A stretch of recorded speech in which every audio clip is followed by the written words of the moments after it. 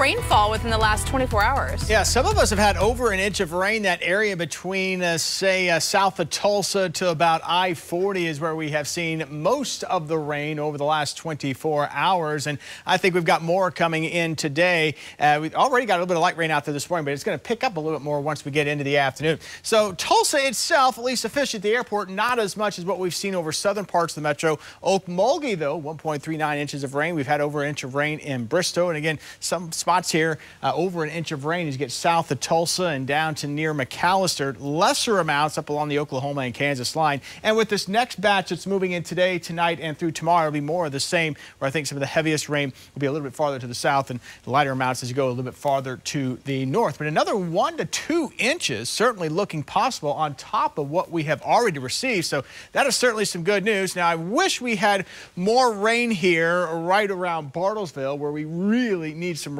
rainfall. It's great to see some of the rain, though, in our western counties here, Pawnee County, out into Payne County, and western Osage County. But we really need some rain right here around Bartlesville and as you head into southeastern portions of Kansas as well. So that's where we have seen some of the lesser amounts fall, unfortunately, with the system. But more on the way today, so we'll take what we can get. We've still got some very light rain lingering in the metro. It's not too much of a big deal, but just enough to keep things damp. The steadier rain and showers here is moving across southern portions of the region. A little bit of lightning and thunder still trying to hold on with this here. Now moving into parts of Pittsburg County. So might get a little bit of lightning and thunder here from Savanna back down to around Kiowa this morning, but we're not looking at anything severe, so not really anything that's too much of a big deal. But again, might need those umbrellas and may slow you down at least a little bit as you're heading out for that morning drive. By later this afternoon, it'll become much more widespread. Right now, not everybody is seeing rain.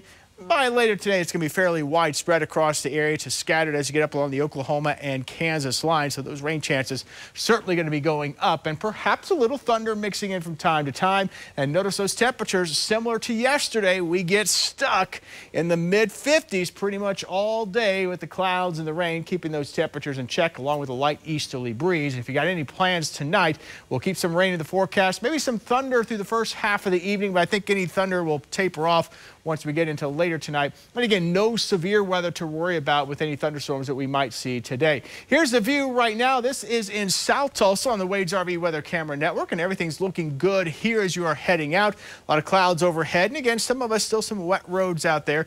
Area of low pressure still out here to our west, and it's going to continue to strengthen and push here and across North Texas as we go into the afternoon. So we're on the cool side of this system. A lot of moisture overrunning the cooler air that we've got in place. So our rain chances going up.